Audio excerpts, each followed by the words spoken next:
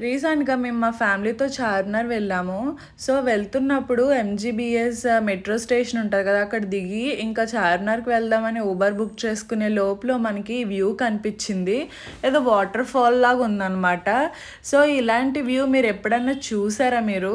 Water fall లాగా ఉందని excite feel అయ్యే లోపల స్మెల్ అయితే గట్టిగా వచ్చేసింది. సో, మీకు తెలిసిందే కదా! చార్మినార్ అంటే షాపింగ్, షాపింగ్ అంటే చార్మినార్. సో, చార్మినార్ చూసారు కదా! చాలా హాట్‌గా ఉందనమాట. ఈ డేస్‌లో అయితే అసలు ఎవ్వరు వెళ్ళొద్దు. ఎంత వేడిగా ఉందంటే ఆ జనం మధ్యలో ఇంకా వేడిగా అనిపించింది అనమాట ఇప్పుడు వెళ్ళిపోతాం వెళ్ళిపోతాంరా బాబు అన్నట్టు అనిపించింది. సో, ఇక్కడ ఏదో టెంపుల్ కూడా ఉందనమాట. భాగ్యలక్ష్మి టెంపుల్ అని చెప్పేసి.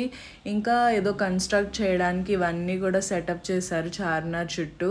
సో, అంతలోపు మన నిమ్రా కెఫ్కి అయితే చేసాము క్రీమ్ బన్ ఆర్డర్ చేసాం. దాంతోపాటు ఇరానీ చాయ్.